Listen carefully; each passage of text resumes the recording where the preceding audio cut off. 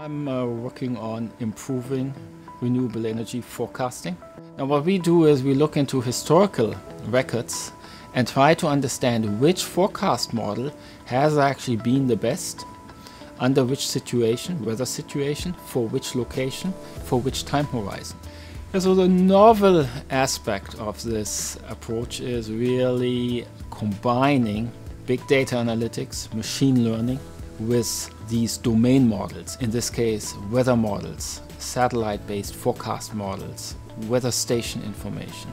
The biggest challenge is to really deal with all these different data sources which are required to make such forecasts because at the end of the day you have to predict the formation, the dissipation, the appearance, disappearance of clouds, the nature of clouds, the nature of aerosols, the nature of the atmosphere, and you have to do this with fairly high accuracy.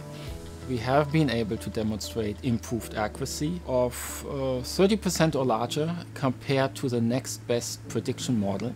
We want to improve further the accuracy. We are thinking about more than 50% uh, total improvements. There are certain types of um, error metrics which you want to improve, for example, ramp forecasting. So focusing on extraordinary events which are especially important for the power grid so the Department of Energy um, has been a great supporter of this work. Creating a more sustainable energy future uh, involves, of course, many different uh, aspects to it, and so I'm just glad to be one of those.